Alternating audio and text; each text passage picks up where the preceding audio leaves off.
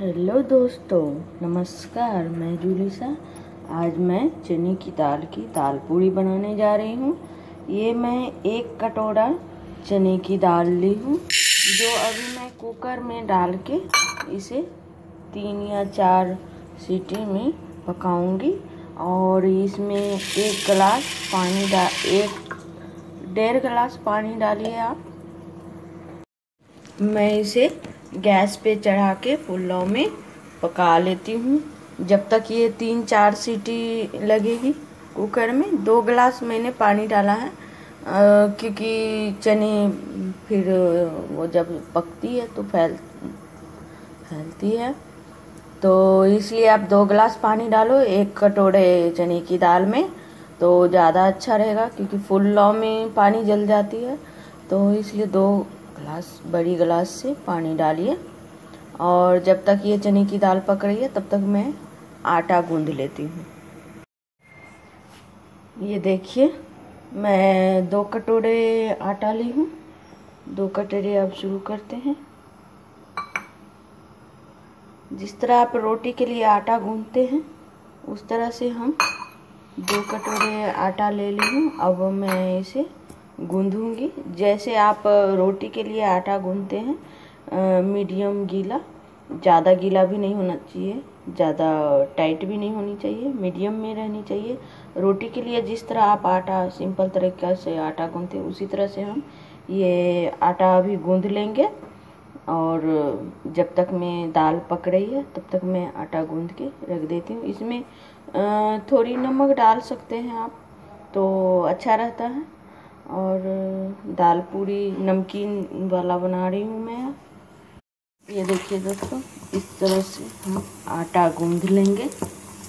पूरे अच्छे तरह से, इस तरह से रोटी जिस तरह से आप आटा गूंदते हैं, उसी तरह से ये ये देखिए दोस्तों, मैंने ये आटा इस तरह से गूंद ली हूँ रोटी के जैसे। अब मैं दाल पक गया है, उसको मैं अब छान लेती हूँ। ये देखिए दोस्तों, मैंने इसके पानी निकाल ली हूँ और इस तरह से ये दाल पक गई है। इसको अब मैं कढ़ाई में फ्राई करूँगी। अब मैं ये एक छोटी चम्मच हल्दी लूँगी और ये गरम मसाला लूँगी एक छोटी चम्मच। ये एक छोटी चम्मच लाल मिर्ची पाउडर लूँगी। और अगर आप ज़्यादा तीखा खाते हैं तो ज़्यादा लाल मिर्ची पाउडर और गरम मसाला ज़्यादा ले सकते हैं। और ये सारे सामग्री मैं तेल में फ्राई करूँगी और एक चम्मच जीरा डालूँगी पहले तेल में और फिर ये सारे मसाले डालूँगी, फिर इसको तेल में पका लूँगी। ये देखिए मैं एक चम्मच तेल डाली हूँ। और इसमें मैं पाँच फोड़नी डाल रही हूँ। आप खाली जीरा में भी बना सकते हैं। और ये जब पक जाए पाँच फोड़नी, तब इसमें मैं सारे मसाले डाल के पका लूँगी।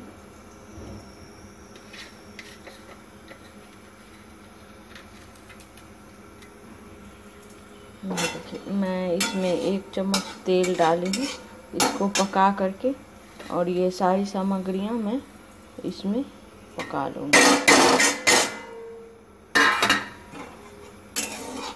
ये इस तरह से तेल में पका के ये जब पूरी तरह से पक जाए तो इसमें हम दाल डाल देंगे।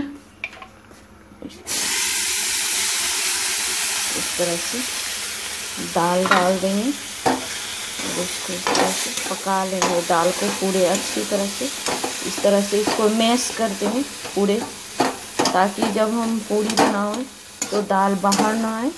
तो इस तरह से, पूरी तरह से इसको मैश करके पका लेंगे गैस को। इसमें स्वादानुसार आप नमक डाल के पूरे अच्छे से पका लीजिए। ये देखिए मैं सारे छोटे छोटे लोई बना ली हूँ और अब मैं इसमें अंदर में थोड़ा सा आटा ले लीजिए। इसको ज़्यादा गीला हो गया तो और इस तरह से इसको बना लेंगे। इस तरह से और इसके अंदर ये दाल भर के इस तरह से बंद कर देंगे। ऐसे पूरी तरह से बंद करके और इसको मैं बेलना चिकला फिर इस तरह से बेल लूँगी। आप चाहे तो तेल में फ्राई करके भी खा सकते हैं। इस तरह से बेल लेंगे। सारी पूरियाँ इसी तरह से बेल के मैं तवा पे सेक लूँगी। ऐसे पतले बेल लीजिए। तवा पे बनाना है तो पतले बेल लीजिए। और अगर तेल में फ्राई करना है तो आप कम पतला बेलिए। इस तरह से। अब मैं इसे तवा गरम हो गया है। इसको इस तरह से इसको पका लूँगी। ये देखिए, वन साइड पक गया है। तो इसको इस तरह से तेल इस पर घुमा देंगे, ऐसे करके। घुमा देंगे और इसको इस तरह से पलट देंगे। ये देखिए। और कम तेल में पक जाती है ये। देखिए, इस तरह से। आप घी में खाना चाहते हैं तो घी डाल के पकाइए। तेल में खाना चाहते हैं तो तेल डाल के पकाइए। और इसी तरह से सारी पूड़ियाँ पका लेंगे हम, इसी तरह से। ये देखिए। ये इस तरह से पका लेंगे हम। दाल के इसे पका लेंगे। ये देखिए दोस्तों, जैसा कि मैं बोली थी जो ऐसे दाल पकाना है तो इसको पहले आप ठंडे करके फिर वो उसमें भरना है। अगर गरम गरम आप भरेंगे तो वो फट जाती है। और ये देखिए दोस्तों अभी पूड़ियाँ बन के तैयार हो गई हैं। चार पाँच आदमी के लिए इतने सारे पूड़ियाँ बन के तैयार हो गई है। और अगर आप ज़्यादा आदमी के लिए बनाना चाहते हैं तो ज़्यादा बना सकते हैं। अगर आपको पूड़ियाँ अच्छी लगी तो मुझे लाइक करें सब्सक्राइब करें एंड कमेंट करें। और आप तेल में फ्राई करना चाहते हैं तो आप तेल में भी फ्राई कर सकते हैं। उसके लिए आप छोटी पूड़ियाँ बनाइए और दाल बाहर नहीं आनी चाहिए। मैं रोटी की तरह पकाई हूँ कम तेल में और आपको तेल में फ्राई वाली अच्छी लगती है तो आप तेल में फ्राई करके छोटे इस तरह से बनाना है और तेल में डिप करके फ्राई करना है। और ये आपको पूरी अच्छी लगी तो अगर आप सब्सक्राइब नहीं किए हैं तो सब्सक्राइब कर लीजिए, लाइक नहीं किए हैं तो लाइक कर लीजिए। और कमेंट करें वीडियो अच्छी लगी तो। Thank you friends